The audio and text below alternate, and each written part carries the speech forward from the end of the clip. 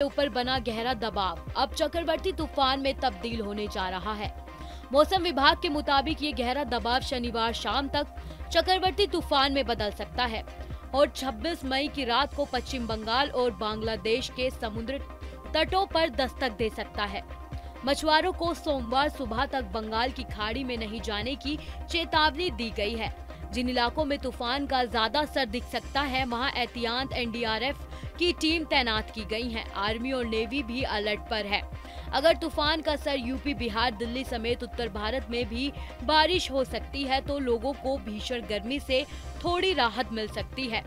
बंगाल की खाड़ी में बन रहा चक्रवर्ती तूफ़ान 110 120 किलोमीटर प्रति घंटे की रफ्तार से दस्तक दे सकता है। ये 135 किलोमीटर प्रति घंटे तक की रफ्तार पकड़ सकता है। मौसम विभाग ने 26-27 मई को पश्चिम बंगाल और उत्तरी उड़ीसा के तटीय जिलों में अत्यधिक भारी बारिश की चेतावनी जारी की है। पूर्व उत्तर भारत के कुछ हिस्सों में 27-28 मई को अत्यधिक बारिश हो सकती है। तूफ़ान के दस्तक देने के समय समुद्र में एक दशमलव पाँच मीटर ऊँची लहरें उठने की आशंका है, जिससे तटीय पश्चिम बंगाल और बांग्लादेश के निचले इलाके डूब सकते हैं। मौसम विभाग ने मछुआरों को 27 मई की सुबह तक बंगाल की खाड़ी के उत्तरी भाग में समुद्र में न जाने की चेतावनी दी है। मौसम विभाग ने 26 और 27 मई को पश्चिम बंगाल के तटीय जिलों, दक्षिण और उत्तर 24 परगना के लिए रेड अलर्ट जारी किया है। यहाँ कुछ जगहों पर भारी बारिश होने का अनुमान है। आईएमडी ने 26 और 27 मई के लिए कोलकाता, हावड़ा, नदिया और जिलों के लिए ऑरेंज अलर्ट भी जारी कर दिया है। जिसमें 80 से 90 किमी प्रति घंटे की गति से हवा चलने और 100 किमी प्रति घंटे की गति तक पहुँचने के साथ साथ एक या दो स्थानों पर भारी बारिश की चेतावनी दी गई है। तट के निकट रहने वालों को मौसम के पूर्वानुमान के अनुसार तैयार करने और 27 मई तक घर के अंदर रहने की सलाह दी गई है।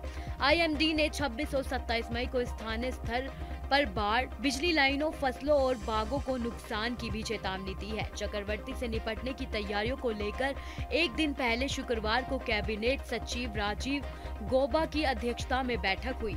कैबिनेट सचिव ने पश्चिम बंगाल सरकार को आश्वासन देते हुए कहा कि इस स्थिति से निपटने के लिए सभी केंद्रीय एजेंसियाँ पूरी तरह से अलर्ट पर हैं और सहायता के लिए उपलब्ध रहेंगी। इसके चलते एनडीआरएफ ने 12 टीमों को तैनात किया है। वहीं पाँच अतिरिक्त टीमों को स्टैंड बाय रखा गया है। कैबिनेट सचिव ने ज़ोर देकर कहा कि राज्य सरकार और केंद्रीय एजेंसियों द्वारा सभी आवश्यक निवारक और एहतियाती कदम उठाए जाएँगे। इसका उद्देश्य जीवन की हानि को शून्य रखना और बिजली और दूर संरचना जैसी संपत्ति को बुनियादी ढांचे को नुकसान को कम करना होना चाहिए। साथ ही नुकसान के मामले में आवश्यक सेवाओं को कम से कम समय में बेहाल किया जाना चाहिए। उन्होंने कहा कि ये सुनिश्चित किया जाना चाहिए कि समुद्र में मछुआरों को वापस बुलाया जाए और संवेदनाशील इलाकों से लोगों को समय पर निकाला जाए। उन्होंने पश्चिम बंगाल सरकार से चक्रवर्ती तूफ़ान से प्रभावित होने वाले संभावित क्षेत्रों को बड़े होल्डिंग लगाने की समीक्षा करने को कहा है।